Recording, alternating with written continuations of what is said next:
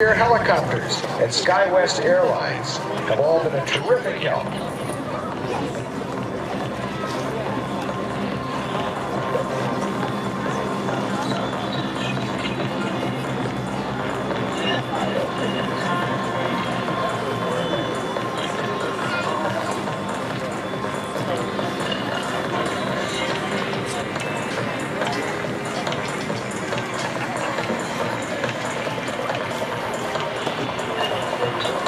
And there goes Delta in their Bombardier Canadair regional jet.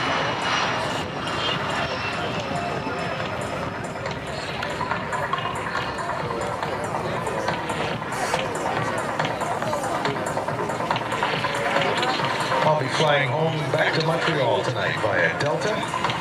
Here to Minneapolis, St. Paul, then on to Montreal. And the airplane I arrived